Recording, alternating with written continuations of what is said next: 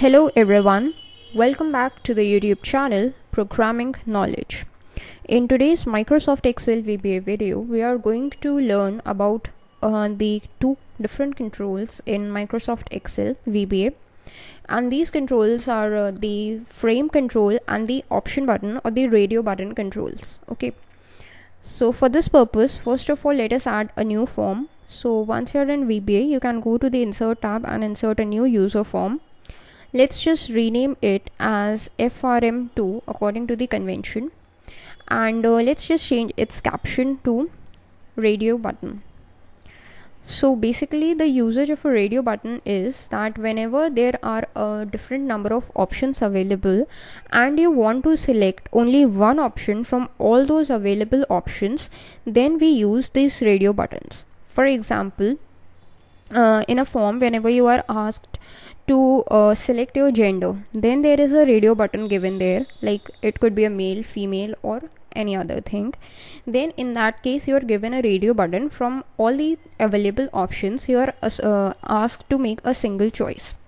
Similarly in the true false questions in a quiz or in a test there are two options true and false and out of these two options you can either select true or false so in that case also a radio button is used.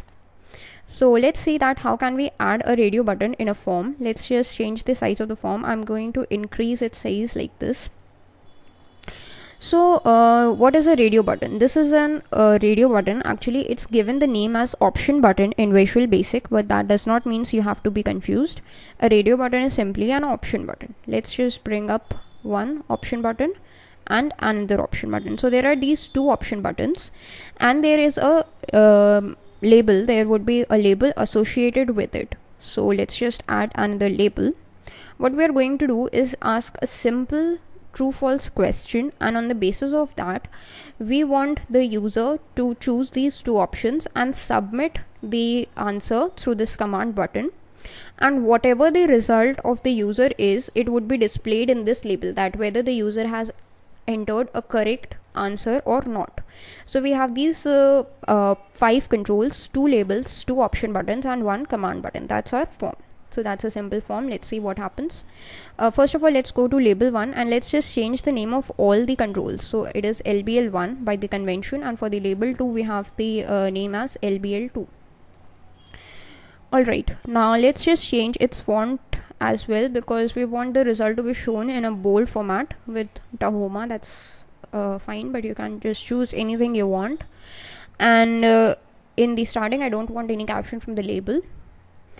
Okay so uh, then this option button is there. So the convention for the option button is opt btn opt for option and btn for the button. Let's just change it to opt btn1 and this option button 2 must change to opt btn2 so that's the convention for the option buttons or the radio buttons. And then for the command buttons let's just change it to cmd btn1 so first of all let's ask a question. So for that purpose let us just change the caption of label 1 but um, there is one thing that you must need to know that um, uh, instead of using actually that's a mistake. So let's go back to our form. Instead of using the properties window whenever you are trying to code through visual basic it is advisable that uh, you must use the form events to change the properties of the controls. Like i want to change the caption of label 1 so if i just double click on the form i have got the click property or the click event. So instead of the click event i have an event in the form that is known as the load event. So it must be here or the initialize event on the initialize event that is whenever the form is initialized what I want is I want lbl1 dot caption or lbl1 simply you can take it to be changed to uh, a simple question is 3 greater than 5 that's my question. And uh, let's just give true slash false. So what will happen is as soon as this form is initialized label one's caption would change to this thing okay? So if we just run it form you can see that what we are seeing in label 1 is this thing and not the original things that we had. So this is what is advisable for the form to do is uh, you can just code hard code everything through the forms okay like this. But that is just the coding part. So right now what i'm going to do is i'm going to use the properties window uh, so that it happens quickly. And let's just change its auto size property to true. And just change its font as well to something of a bigger size like this okay? And for the option button one what do we have is uh, instead of the option button 1 we have the caption. So the caption must be changed to true. And uh, for the option button 2 the caption must be changed to false. And this command button's caption must be changed to actually uh, check or submit or check anything that you want. I'm going to change it to check. That's it now what happens is as soon as I click on the command button I want the result to be evaluated. And uh, since I know uh, that according to the question what is the answer? So according to that I can hard code it okay? So if I just double click on the command button so I go to this event command button 1 dot click. And what I'm going to code into it is that um, if the user clicks on true then I want the result to show that uh, you have entered the wrong answer and if the user clicks on false i have to show that you have clicked on the right answer or wrong right like this. So what i'm going to do is first of all i'm going to check that which option button has the user clicked. So there is a method in visual basic through which we can exactly check that and that is through the value property of the option button. So if we just write uh, we are going to use the if condition why? Because we are going to check something and whenever we are uh, trying to check something then there must be an if condition. If opt btn1 dot value. So this value is either true or false. If the user has clicked on this button then its value is going to be true. And if this button is left unclicked or unchecked then its value is going to be false. So if we just go back to our form so its uh, caption is true which means that if the user clicks on this option button 1 or if the value of this option button 1 is true then the answer of the user is wrong. So let's just write it true. Then i want uh, in that case i want lbl2 dot caption or lbl2 simply equals wrong answer.